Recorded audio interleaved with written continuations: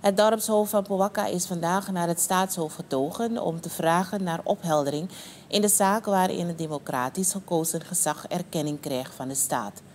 Hem is beloofd dat de zaak deze week per beschikking in orde komt.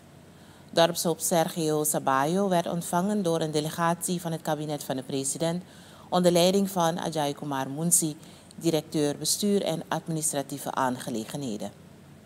En er zou een, een advies komen vanuit ERO. En het was er, maar de president was niet aanwezig, omdat er bij de gesprekken na de uitspattingen op 2 mei uh, hebben we weer op 2 juni gesproken met de president.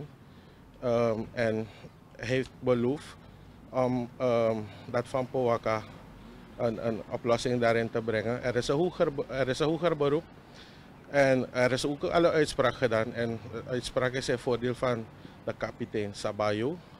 Maar wat wij als traditioneel gezag, uh, wat wij willen beschermen, is dat ons, dat politiek bepaalt voor ons als traditioneel gezag hoe, hoe wij onze bestuurlijke systeem moeten inrichten. En we hebben gevraagd en daarna na 16 juni hebben we dat hier er niks meer hoort. Maar u weet, intussen zijn er spanningen in het dorp omdat er een, een, een aangewezen dorpshoofd is.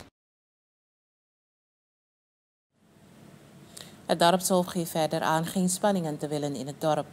Munsi zegt dat alles gerapporteerd zal worden aan de president. We gaan nu toch ontvangen de groep en even overleg plegen wat precies aan de hand is. In detail even doorpraten.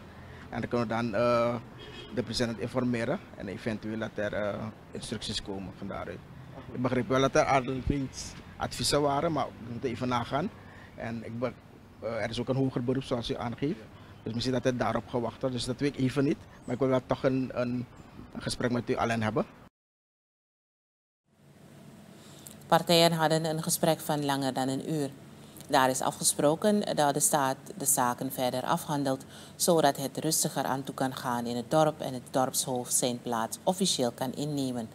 Sabayo kreeg de toezegging dat uiterlijk vrijdag 16 februari alles wordt afgerond.